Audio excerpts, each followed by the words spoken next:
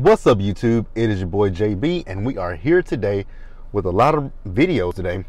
So the first one we're going to do is going to be the 2021 BET Award that aired last night on BET. We're going to talk about it so we will we will go in order. I think we'll do the perform no, we'll talk about Taraji, the host Taraji. Then we'll go into the awards that they presented last night. And then we'll talk about the performances and then we'll end with talking about the tribute that they did to DMX, as well as we'll talk about Queen Latifah and her Lifetime Achievement Award that she got. Much, much deserved. Much, much deserved for Queen Latifah. So, yeah, you guys. So, before we get into that, um, if you guys are watching this video or any other video on the channel and you're not already subscribed to the channel, then do me a favor hit that subscribe button, hit that notification bell button, and like the video, you guys. So, with that all being said, with further ado, without further ado, let's go ahead and just talk about the 2021 BET Awards.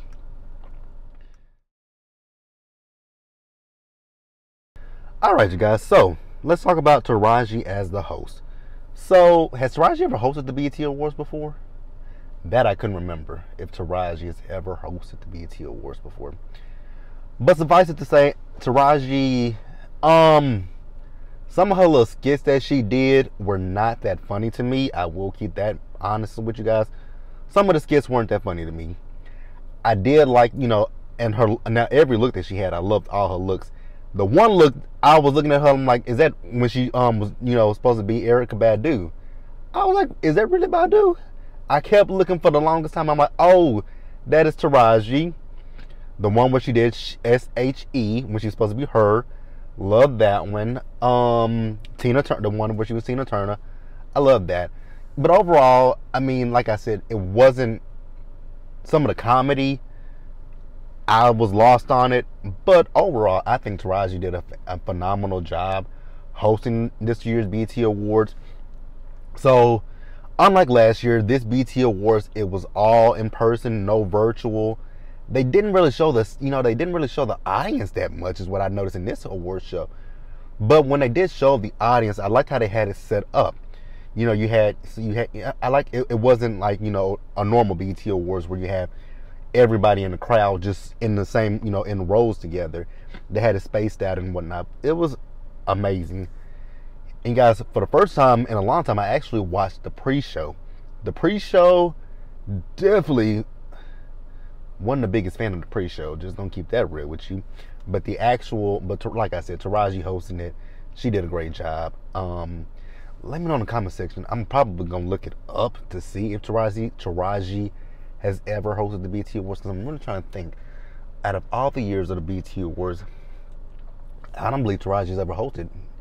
I don't believe Taraji's ever hosted.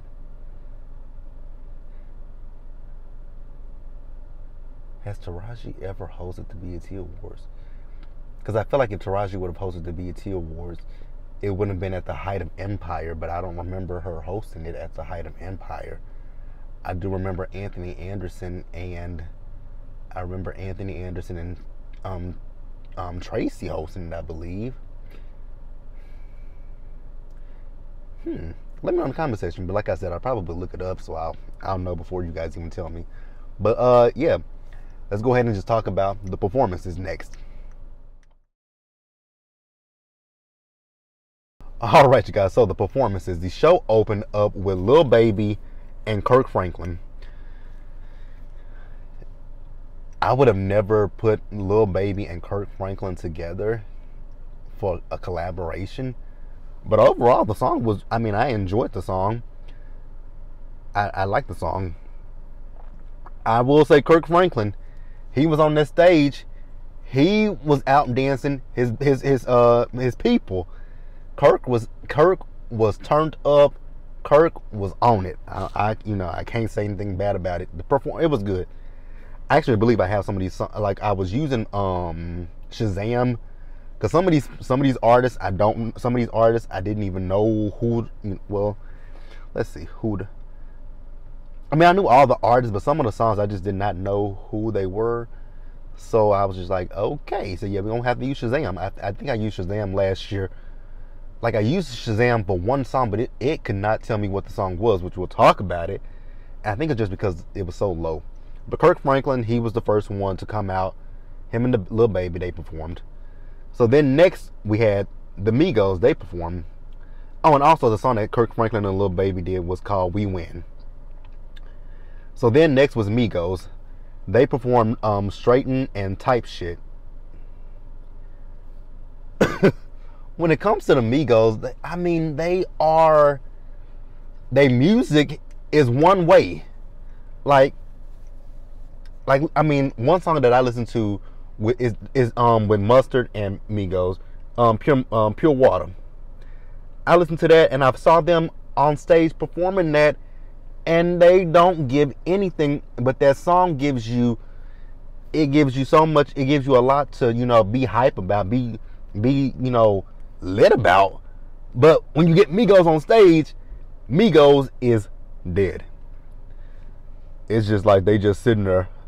I'm like, honestly, because my best friend, it was a few years ago.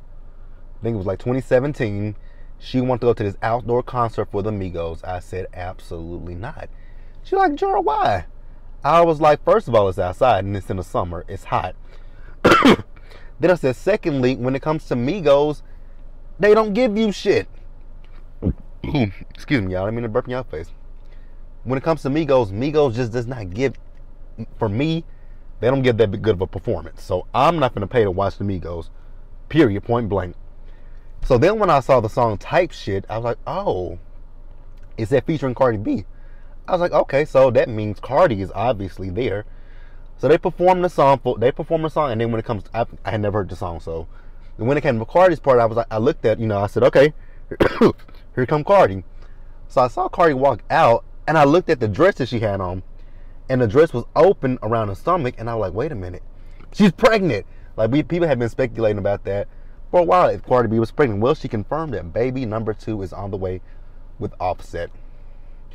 You know, maybe he's learned his ways about you know maybe Offset has learned from his you know his you know his cheating and his philandering and maybe he's you know doing the right thing by Cardi. So, um, congratulations to Cardi and Offset. Excuse me, y'all. Next up, my girl H.E.R. performed. You guys, I absolutely 100%. Damn. I love her. So, H.E.R. performed a song called We Made It. Love it especially when she came down with those drums. She was beating on the drums. I'm like, yes, her. You better do it. You better get up. Do it.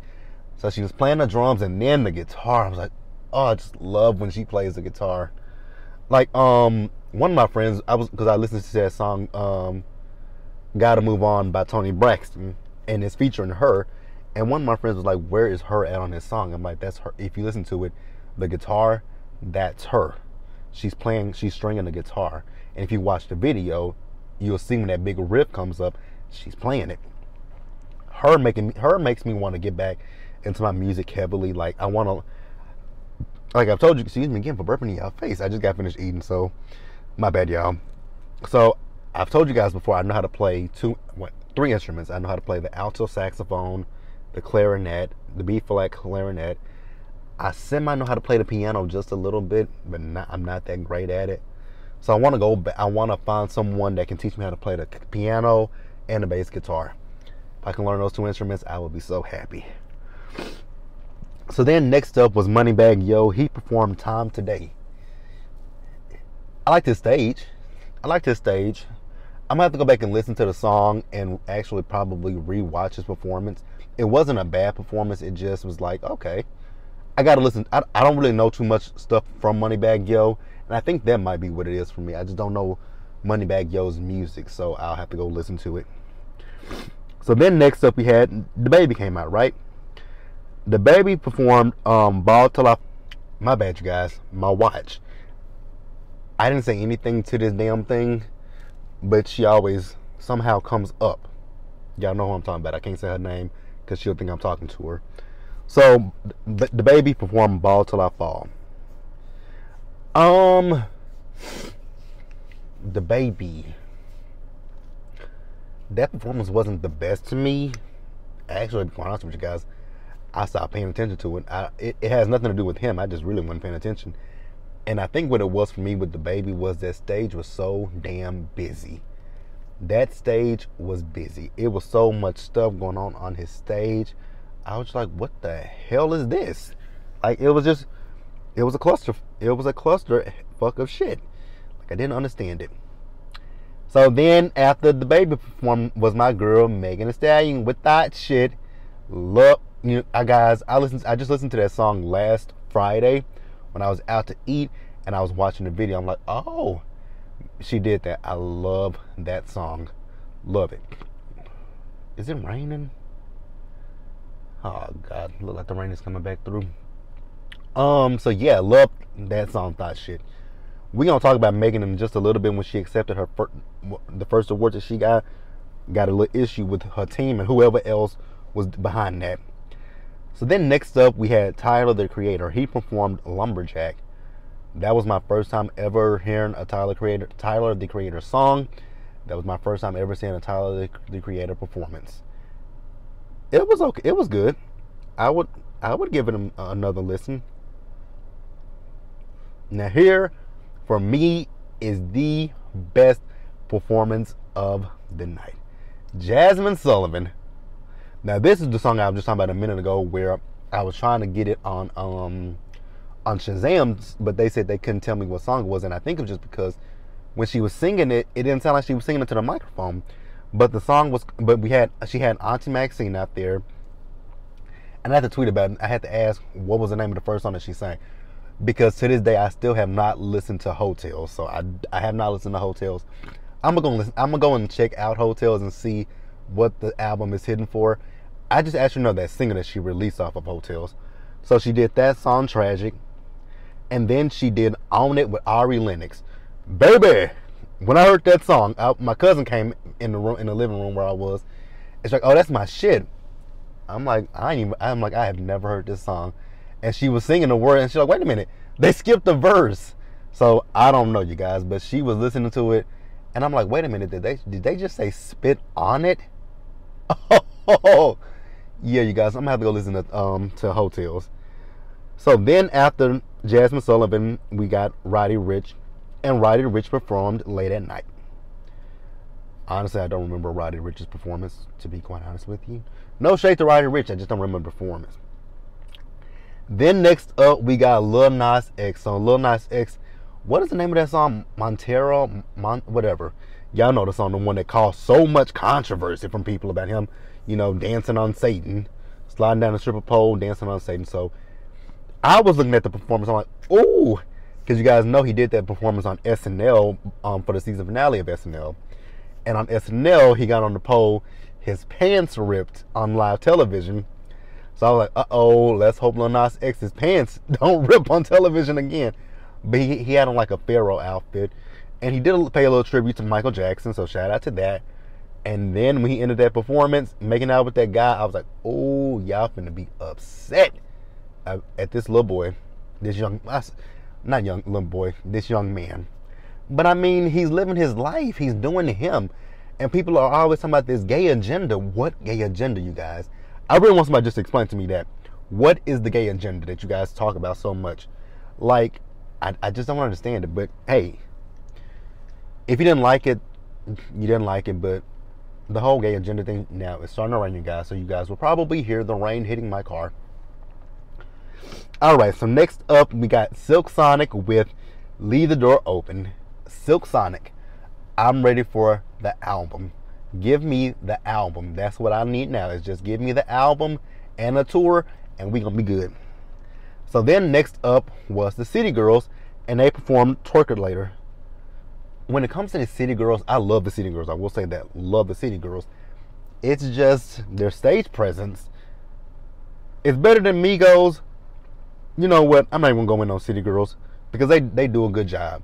They're not the best dancers around, but for the City Girls, they definitely put on a show for you. So I would give that to the City Girls. So I'm not gonna go into it with them. I'm, I'm not gonna go into that. Then the last performance that we have is Andra Day, and she came out and she did Strange Fruit. Um, nothing. More, She, I think she did. she did a different spin on Strange Fruit in this in this rendition. I think it's actually the rendition that she did when she performed at the Grammy Awards. Correct me if I'm wrong. But that's it for the performances. Next, we're going to go into the um, awards that were presented last night.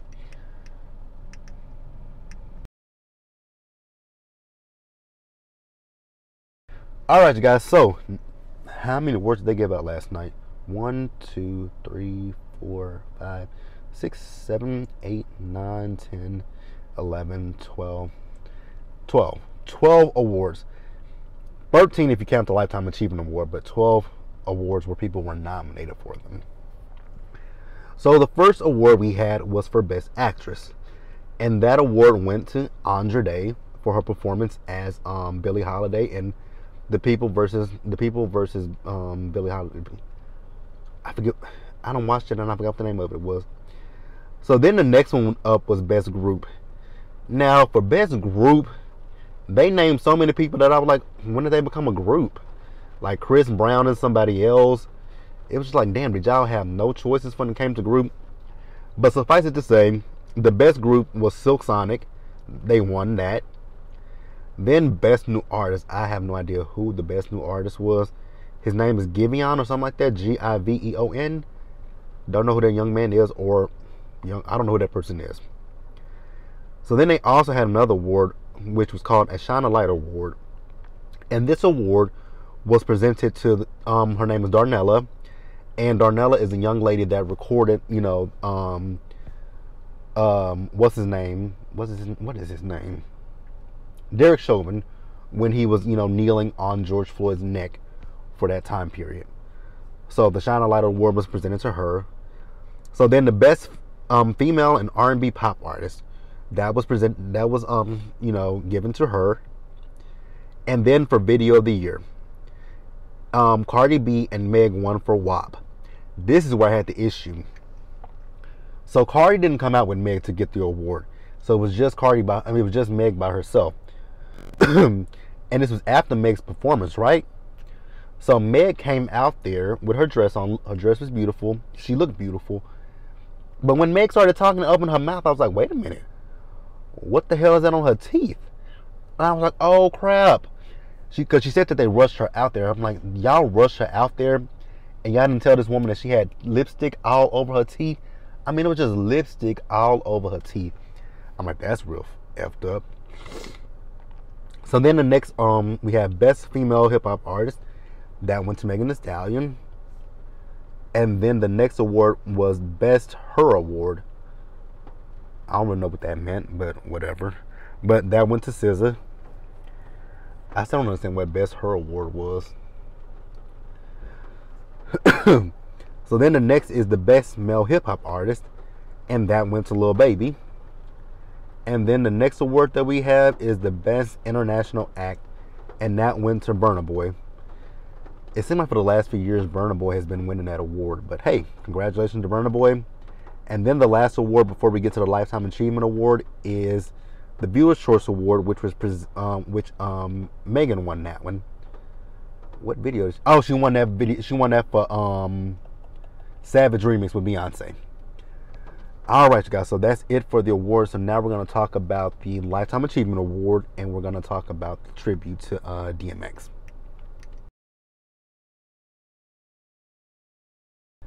All right, you guys. So for the Lifetime Achievement Award this year, it was presented to Queen Latifah, aka Dana Owens. And when you think about Queen Latifah and all that she has done in her lifetime, and you know, in her her, her um time in the industry, she's been a force to be reckoned with, and you can't take that away from her. Like you gotta love Queen. Queen has done so much. She started out as a rapper. Then she went on to, you know, she made her, her, her uh, flavor works she did Living Single, which was a bona fide hit. Like everybody loves Living Single, which I believe Living Single currently is on Hulu. She did Living Single. So then after Living Single, she's went on to do her acting, set it off. Um Chicago. What's that? Is that the name of that? I believe that's it. Like she's done so much. She sings she she sings, she she acts, she sings, she raps, She's had her own television show. Now, I didn't know until somebody said uh, recently that she's had two TV shows. I do remember the one on BET, and I do remember, oh, she did have two TV shows. She did. I didn't even realize that. But yeah, when it comes to the likes of Queen Latifah, man, you can't do nothing but pay respect to that woman because the the woman, that, like, she's done so much. And you know, she's only. I mean, she's and she's getting better with time because I know she has this show now, The Equalizer, and I think it's doing good. Like, you, I mean, you you just gotta pay respect to the legend that is Queen Latifah.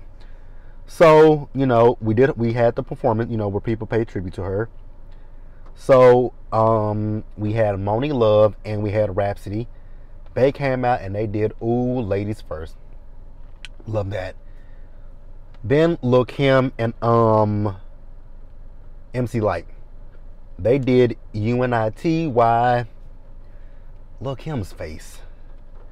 I love Kim, but girl, I really wish you hadn't done so much plastic surgery to your face, but this is not about Lil Kim. Speaking of Lil Kim, I know on the red carpet somebody asked her who would she like to do a versus with, and she said Nicki Minaj. I was thoroughly surprised that she said Nicki, because we all know that she and Nicki had a look, had they have had their beef. I was really shocked that she said Nicki Minaj.